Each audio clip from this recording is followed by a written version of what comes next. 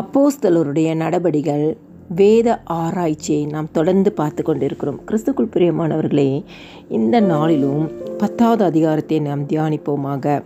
பத்தாவது அதிகாரத்தில் இத்தாலியா பட்டாளம் எனப்பட்ட பட்டாளத்திலே நூற்றுக்கு அதிபதியாக கொர்னொலியோ என பெயர் கொண்ட ஒரு மனிதன் மனுஷன் செசரியா பட்டணத்திலே இருந்தான் என்று பார்க்கிறோம்.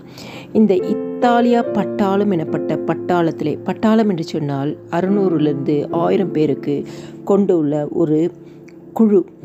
அப்போது இதில் நூற்றுக்கு அதிபதின்னு சொன்னால் நூறு பேருக்கு அதிபதியாக இருக்கிற இந்த கொர்னலியு என்ற ஒரு மனிதன்.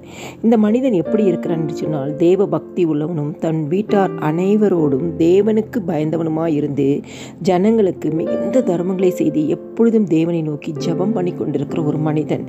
இவன் குடும்பத்தை நன்றாக நடத்துகிற ஒரு மனிதன் ஜெபம் பண்ணுகிற ஒரு மனிதன் தேவ பக்தி உள்ள மனிதன் தன் வீட்டார் அனைவரோடும் கூட தேவனுக்கு பயந்து இருக்கிற மனிதன் ஜனங்களுக்கு மிகுந்த தர்மங்களை செய்கிற ஒரு நல்ல சாட்சியுள்ள மனிதன் என்று வேதத்தில் பார்க்கிறோம். பகலில் ஏறக்குறைய ஒன்பதாம் மணி நேரத்தில் தேவனுடைய தூதன் தன்னிடத்தில் வரவும் குரநொழிவே என்று அழைக்கவும் பிரதிச்சமாய் தரிசனம் கண்டானாம். கிறிஸ்துக்குள் பிரியமானவர்களே யூதர் முறைப்படி யூதர்கள் மூன்று முறை ஜெபிப்பார்களாம். அந்த வழக்கத்தின்படியே இந்த குரநொழிவும் என்ன பண்ணுகிறார்? ஏறக்குறைய ஒன்பதாம் மணி நேரத்தில் நமக்கு அது மத்தியானம் மூணு மணி என்று வேத ஆராய்ச்சி சொல்கிறது. அந்த நேரத்தில் ஜெபிக்க போகிறாராம். அப்பொழுது அவருக்கு ஒரு தரிசனம். தேவனுடைய தூதனை காணும்படியான ஒரு தரிசனம் பார்க்கிறார். அப்போ தேவ தூதனை அவ தேவ தரிசனம் கண்டு அவனை உற்று பார்த்து பயந்து ஆண்டவரே அந்த தேவ தரிசனத்தில் தேவ தூதனை காணும் பொழுது பயந்து ஆண்டவரே என்ன என்றான்?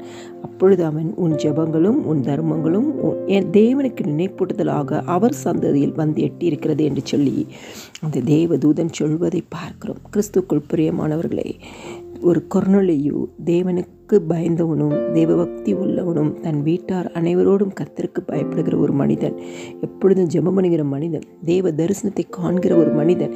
அதனால் அவனுடைய ஜெபமும் அவனுடைய தர்மங்களும் தேவனுக்கு நினைப்படுதலாக அவர் சந்ததியில் வந்து எற்றிற்றான் எவ்வளோ பெரிய கிருப பாருங்கள் இன்றைக்கி நம்மளுடைய வாழ்க்கை நம் குடும்பம் ஒரு கொரோனிலே குடும்பத்தை போல கட்டப்பட்டு இருக்கிறதா?